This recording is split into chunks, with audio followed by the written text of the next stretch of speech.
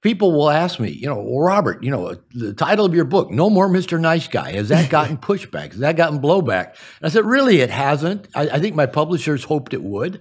um, but it really didn't happen. And but the book has still done very well anyway, in spite of not getting initial you know blowback. But yeah, the, the title, if you think about it, you know, if you if you just get real logical with it, why would somebody write a book teaching men to be not nice? There's enough not nice men out there, and we don't need a book to teach more men to be not nice. and and and of course, one thing that I've found, especially in men, but especially in nice guys, is real black and white thinking.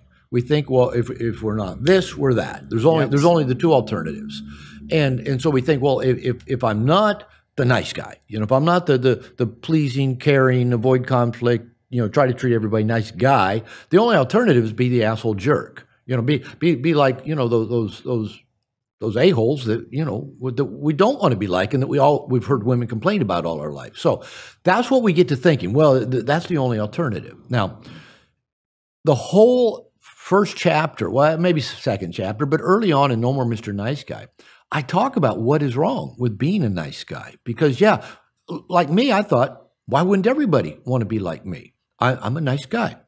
And the, there's a there's a lot of uh, side effects of being a nice guy. With perhaps the most significant one is that nice guys are inauthentic, which means they're not honest.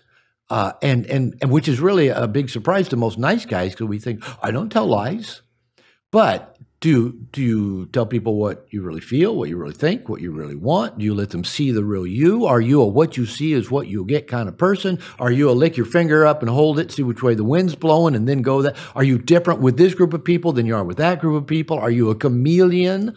If all those uh, uh, apply, you're not honest because honesty just means you are who you are and people get to see who you are and know what you feel and know what you think and know where you're going and know what's important to you and know you have wants and know you have needs. And you communicate them clearly.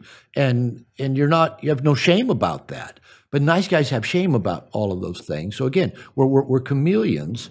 And going back to you know my, my my second wife said you got you know if you don't go get some help i'm going to leave you and and really just what she was saying is your nice guy stuff. Yeah, everybody thinks you're nice, but your nice guy stuff's coming out in these really indirect ways that are hurtful. You know, the, the passive aggressive behavior, um, and, and again, the victim puke. I would just let my resentments build up for so. And my second wife gave that name to that, where I, I would just, you know, they would build up until finally something, you know, and I would just blow up. All those little conversations I'd been rehearsing in my head, you know, staying awake at night. Oh, I'm, I'm going to say this, I'm going to say that. All of it would come out, right? All of it would come out, and it wasn't pretty. And I, I remember the, you know, from time to time, my my, my then wife would say, uh, "How how long has this been bothering you?" I go, mm, six months, year maybe. and, and she would say, Did it ever cross your mind to tell me this was bothering you? And I think, and I go, no, actually, it never crossed my mind. I rehearsed plenty of conversations in my head, but I never thought to say to you, hey, this is bothering me. Can we talk about it? Can we address it? Can we work on it? Because I just assumed if I did that, you know, she'd go ballistic. She she she wouldn't want to talk about anything that might be bothering me, especially if it was related to her behavior. Uh, but that's not about her. That's that was my stuff.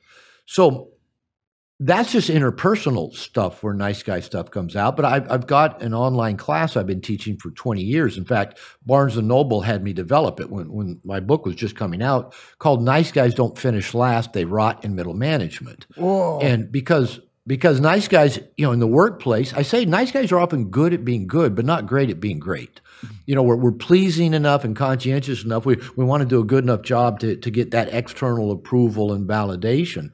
But to, to really be willing to risk, to take a chance, to rock the boat, to, to focus on what's important to you, to live with your passion, to follow you know, your purpose.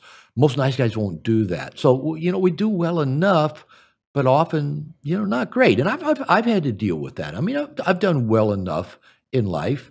And sometimes, you know, over the last, well, let's say, you know, five to 10 years, I have to pinch myself because I can't believe my life is so damn good. And, and the reason it's gotten so damn good is, is that I, I am taking risks. I am going for what I want. I am recruiting people to help me get the things done. And, and you know, it's, it's, a whole different paradigm. And, and I'm not getting codependent and wasting a lot of time fixing everybody else's problems or, or solving their stuff, which that's a big thing that happens in the workplace and in relationship for nice yeah. guys. They get codependent. And we'll invest a lot of time and energy on other people's issues or problems when we could be investing that time and energy in what's more significant for us.